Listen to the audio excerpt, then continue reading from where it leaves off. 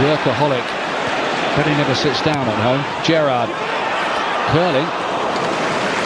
Van der Manchester United must wish they signed him earlier. He was available for quite a time before they did Yeah, snap right. him up. They went through many a season, didn't they, when they picked bad goalkeeper after bad goalkeeper, and then they managed to secure his services, and uh, it's been a great signing for them.